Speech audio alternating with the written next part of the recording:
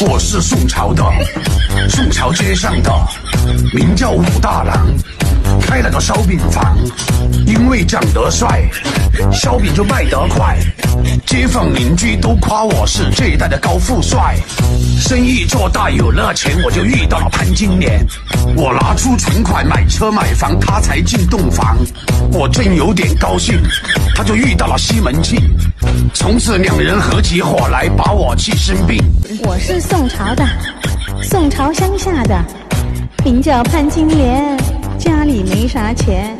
邻居说我长得俏，叫我的城里绕一绕。正当我饿得心发慌，突然看到了烧饼摊，摊主老板的武大郎，又啊又胖还高血糖。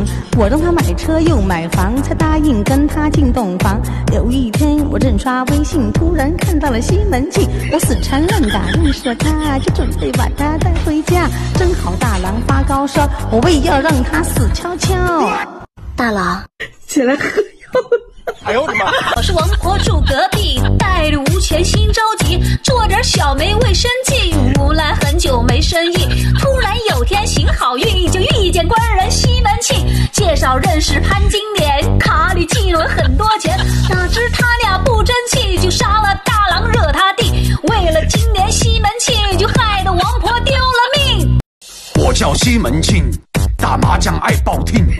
宋朝要修高速路，我就成了拆迁户，手里拿着一大笔钱，我都不用去种田，成天游手又好闲，就认识了潘金莲。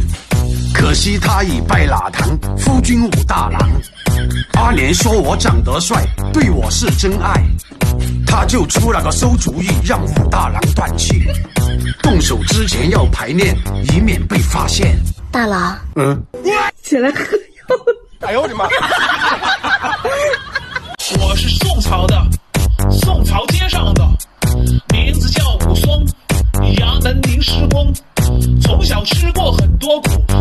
上山打过虎。哥哥名叫武大郎，每天卖饼他很忙。嫂子叫做潘金莲，看中我哥有点钱，哪知出了西门庆，害得我哥丢了命。得知消息赶回家，衙门不管我来抓。眼见嫂子和西门庆一刀下去就毙命。我是宋朝的，宋朝景阳岗的，名叫东北虎，做事很靠谱，但山下的老百姓都不敢靠我近。突然有一天，来了个醉神仙，他名叫武二郎，酒后太疯狂，一口气喝了十八碗，天黑都不嫌晚。我看他已喝醉，就想跟他会一会，我腾空扑过去，他反把我打在地。他三拳两脚太用力，就把我打断气。我是宋朝的，宋朝街上的，街上卖梨的。我的名字叫运哥。王婆，王婆你真坏，教唆金莲把大郎害。大郎，大郎你真笨，怎么能让金莲认识西门庆？西门庆也糟糕，最后挨了武松一刀刀。金莲，金莲长得俏，勾引西门庆给大郎喂毒药。武松，武松也没跑掉。